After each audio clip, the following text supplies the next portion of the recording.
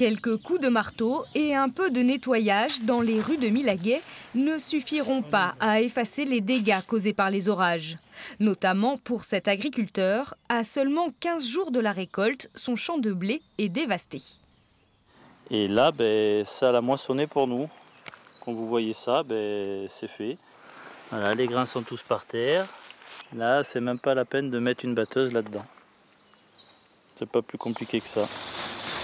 Tout s'est passé en quelques minutes hier soir. Le ciel s'est déchaîné avec cet orage de grêle. Pour Sébastien, les coûts seront élevés. Rien que pour remplacer ces bâches trouées, il devra dépenser 3000 euros. Si on arrive à récolter cette herbe, elle n'aura pas de valeur parce qu'elle est hachée. Donc euh, même si on arrive à en ramasser un peu pour sauver un peu les meubles, ça ne sauvera pas tout. quoi. L'enjeu pour les agriculteurs est désormais de faire reconnaître la catastrophe naturelle.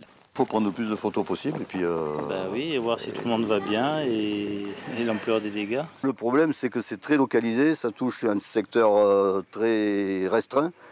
Et est-ce que est-ce qu'on obtiendra le, classement en catastrophe naturelle? Je ne sais pas, mais on, on fera tout pour. Voilà. Les fortes précipitations se sont en effet concentrées autour de Milaguet hier soir. Un phénomène qui pourrait se répéter. La vigilance orange pour les orages est maintenue au moins jusqu'à demain matin.